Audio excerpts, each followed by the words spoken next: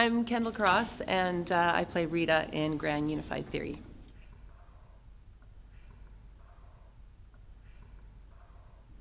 Oh, it's a long, long road. um, I, uh, I moved to Vancouver after I graduated uh, from Kamloops Senior Secondary and uh, went to UBC, took a Bachelor of Fine Arts in Stage Acting. Um, never thought about film because we just couldn't do it in Kamloops. Um, but uh, when I graduated, I jumped out there and started doing some auditioning, and I landed my first audition um, with a speaking role. So I thought, wow, this is simple. Um, but it wasn't. two years later was my next role, so I struggled for two years to get uh, to get something else. Um, so yeah, it's a lot of years of just hard work and uh, making lots of connections with casting agents and um, and I guess having great set etiquette and being someone people like to work with brings more work to you. So I'd like to think that that's kind of what's worked out for me. Uh, Rita in Grand Unified Theory is uh, a mother of two children who are at a certain stage in their life where they don't need her as much anymore. Um, one is graduating from high school, the other's close to it. Um, her husband is getting a new job that's the job he's always wanted. So everybody's kind of moving forward, um, and she's wondering what her place is or her role is after all these years of providing for them.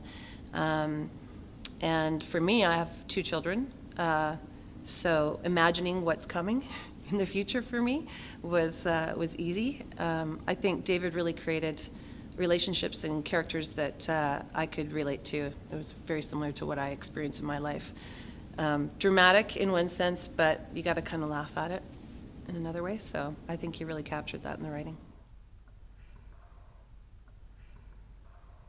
It's I, there's a certain strategy. I mean, um, I don't. I try not to go backwards. I guess if um, you know, if I'm starting to do a certain type of role, then I won't go back to doing, you know, a one-liner or a two-liner in something.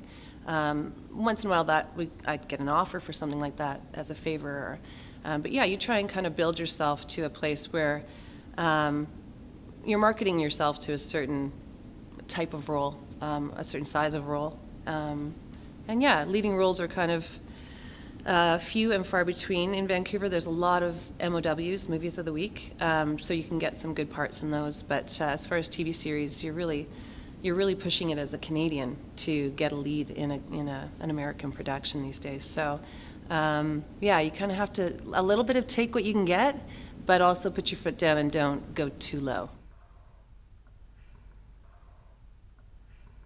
Oh gosh, um, I think people will have moments of uh, recognition um, where they see themselves. I think they'll have a lot of uh, good laughs.